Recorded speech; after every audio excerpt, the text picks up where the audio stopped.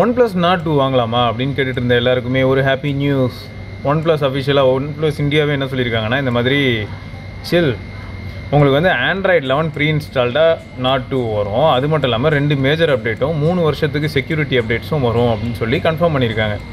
Okay so இந்த colour OS ஸ்பெகுலேஷன்ஸ்லாம் போயிட்டு இருந்தது. இல்லை ஒரு வேளை அடுத்து ஆக்சிஜன் ஓஎஸும் கலர் ஓஎஸும் இணையுமோ ஏதாவது பிரச்சனை நடக்குமோ அப்படிலாம் பேசிகிட்டு இருந்தாங்களா? அதெல்லாம் எதுவும் கிடையாது. ஸோ இப்போ நாட் டூ ஆகும்போது நமக்கு இதுக்கு முன்னாடி நிறைய ஸ்பெசிஃபிகேஷன் எல்லாருக்கும் தெரிஞ்சிருக்கும். இன்னும் ஃபோன் என்னென்ன எல்லாருக்கும் தெரியும்னு வச்சுக்கோங்களேன். தௌசண்ட் டூ ஹண்ட்ரட் டிமென்சிட்டியோட வேறு வருது இல்லையா?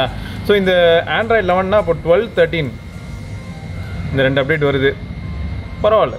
ஸோ நீங்கள் என்ன நினைக்கிறீங்க? நல்ல மூவ் தானே இது. இந்த இன்ஃபர்மேஷன் நல்லா தானே இருக்குது இந்த மாதிரி அட்லீஸ்ட் டெலிவர் பண்ணிடுறது கன்ஃபார்ம் பண்ணிடுறது நல்லா தானே இருக்குது பாயிண்ட்டு